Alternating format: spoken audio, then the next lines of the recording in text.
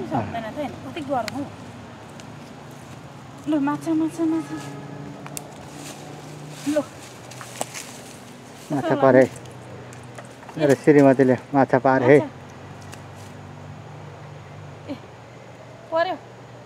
पर्खिँदा पर्खिँदा राम्रै माछा पऱ्यो अहिले ठिक्कको पऱ्यो भुइँमा भुइँमा नराख्नु ल यसको फराइ हुन्छ अब भरे यसको फराइ हुन्छ भरे क्वाक कराउँदैछ त साइड साइडमा पक्रिँदा नि हुन्छ बडा त्यसको नि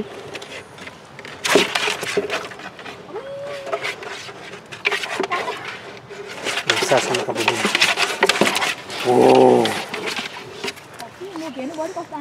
फर्स्टचोटि अमेरिकामा त्यतामा दिएर छौँ। साथीहरू कति छ यहाँ ल फर्स्टचोटि अमेरिकामा पारियो है। अलिक जुम गरेर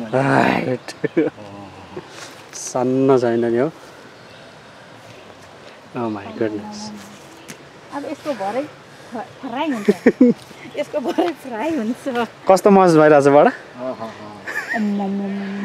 उता पस्ला है फेरि। खोलातिर किन पस्नै? आमा माछा मार्न आएको मान्छे के पारी पठायो हौ यस्तो? खुट्टा भएको माछा।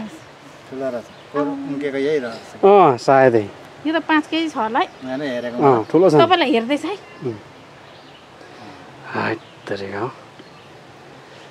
दर्रो पारियो। बडा र ज्वाइँको खतरा पारियो आज है बडा भान्सा रमाउने पर भरै। उता लाउनु। ओ, अब उयो कसो ठुलो गर्दैछ रहेछ हौ। अँ। खतरा छ कति किलो जस्तो छ होला? ए, अहिले त तिन किलो जस्तो छ होला। यो नि तिन चार किलो छ हाइट म त पाँच केजी जस्तो देख्दैछु।